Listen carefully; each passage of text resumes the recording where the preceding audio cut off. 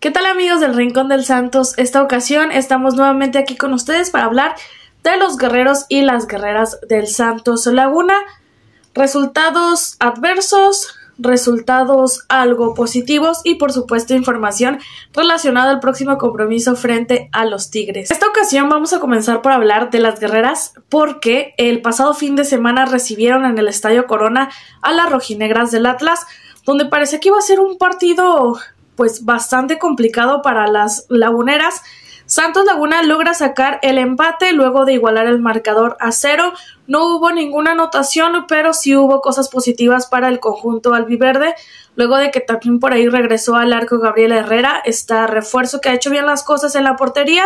y por supuesto por parte de Michelle Ruiz, quien fue la jugadora del partido, luego de intervenir bastantes ocasiones para evitar goles en el arco de Gaby y por supuesto también tratando de colaborar con algunas anotaciones. Tuvimos también a Olson, quien estuvo como delantera, como punta en este compromiso y que se le vieron buenas cosas a esta jugadora extranjera y que se espera bastante de ella para esta temporada. Por otra parte, mucho se ha criticado a Alexia Villanueva, quien no ha tenido por ahí ese ritmo de juego que se le veía en pasadas temporadas aquí con el conjunto albiverde, luego de también ser nuestra goleadora y con quien más esperanza se tiene para sacar adelante al equipo, pues Alexia viene fuera de ritmo luego de tener todo un torneo sin minutos cuando militaba en Tigres. El próximo compromiso de las eh, dirigidas por Carla Maya será este próximo sábado en punto de las 5 de la tarde cuando viajen a Guadalajara para enfrentar a las Chivas Rayadas. Por ahí el rebaño pues no ha tenido el torneo que su afición esperaba, pero sí sigue siendo un equipo protagonista y competitivo, lo que será una prueba sumamente importante y complicada para Santos Laguna. Por otra parte, y lo que más esperan para ver estos videos es precisamente la información de los guerreros. Y es que estos guerreros nos han hecho sufrir bastante desde el torneo pasado o desde torneos atrás también que nos ilusionan y por ahí caen nuevamente tal y como sucedió el pasado domingo cuando visitaron a los rojinegros del Atlas donde fueron eh, exhibidos de forma espantosa y que por supuesto también nos aplicaron la ley del ex con ese tanto de Eduardo El Mudo Aguirre, quien por ahí sufrió una lesión luego de este choque con nuestro arquero Carlos Acevedo. Santos Laguna no ha podido levantarse, por ahí trataron de ilusionar o de mostrar algo bueno frente a Puebla, pero la afición dejó esas ilusiones atrás y ahorita están sumamente molestos, pero sobre todo preocupados porque se viene un partido muy importante en cuanto a la rivalidad eh, se merece, pero también que es importante para Pablo Repeto, ya que se rumora por ahí que de perder el compromiso del sábado frente a los Tigres,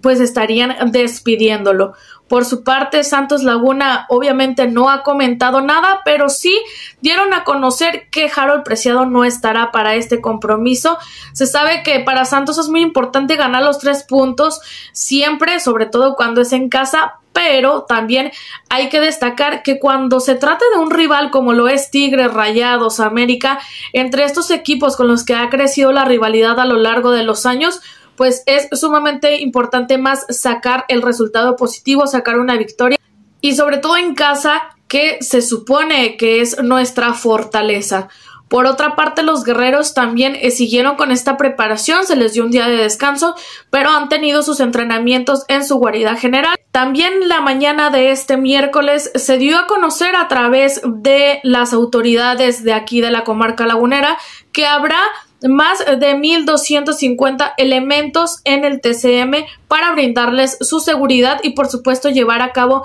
un buen ambiente familiar, un ambiente sano con saldo blanco para este compromiso. También se les exhortó a la afición de Tigres que no viajaran, que no realizara el grupo de animación este viaje, pero se sabe que por la cercanía también no debes de pertenecer a un grupo de animación, pero sí pueden venir al territorio Santos Modelo, por lo que, bueno, estarán ahí las autoridades para tratar de llevar un buen ambiente en este compromiso de la Liga MX.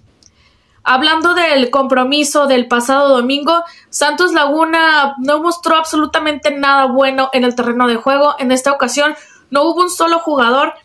que se salvara de este compromiso, pero lo que sí llamó la atención de bastantes aficionados y que en lo personal me parece algo patético y horroroso que haya hecho Pablo Repeto es exhibir a tres jugadores que bueno, han hecho las cosas bien cuando se les ha necesitado en algunas ocasiones. El caso de Jordan Carrillo y de Santi Muñoz no había tenido tanto tiempo de convivencia con ellos, pero bueno, te salvaron eh, prácticamente como decimos por ahí, te sacaron la chamba, te salvaron el trabajo en el partido frente a Puebla donde mostraron buenas cosas, Jordan que estuvo ahí con una asistencia y una anotación. Y por otra parte, Ronnie Prieto, quien también fue exhibido por Pablo Repeto en conferencia de prensa. Cuando Ronnie, pues sabemos que su posición natural es en el medio campo, pero nuestro todólogo ha estado en todas las posiciones que se le brinden y por supuesto también ha hecho un excelente trabajo. Para muchos aficionados no fue ético el que Pablo Repeto diera este tipo de declaraciones en conferencia de prensa y se notan algo molestos, pero también ya veremos si va a haber algunos cambios en la alineación para el partido frente a los Tigres.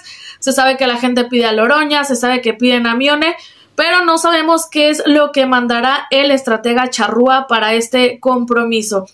Este duelo se llevará a cabo el día sábado en punto de las 9 de la noche, donde pues esperemos que Santos Laguna regrese a la senda del triunfo y esta ocasión pues tomen esto como motivación, siendo un equipo como Tigres tan competitivo, que por supuesto hay que hacer la comparación, aunque nos duela en el fondo del corazón santista, pues Tigres tiene un equipo titular que le puede pelear a cualquier equipo, pero también en cuanto a sus cambios, sorprende bastante la banca que tiene el equipo regiomontano, mientras que Santos no tiene muchas opciones y lo poco que tiene, bueno, pues Pablo Repeto no lo ha utilizado. De Amione se dio a conocer que fue debido a que faltaba un poquito más de tiempo,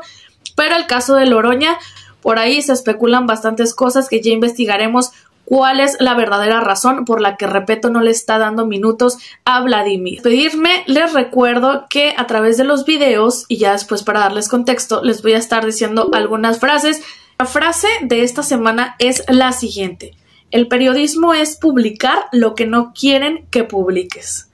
Ahí se las dejo botando la pelota. Y bueno, yo me despido y ya saben que todo lo relacionado a Santos Laguna lo encuentran aquí en el Rincón del Santos.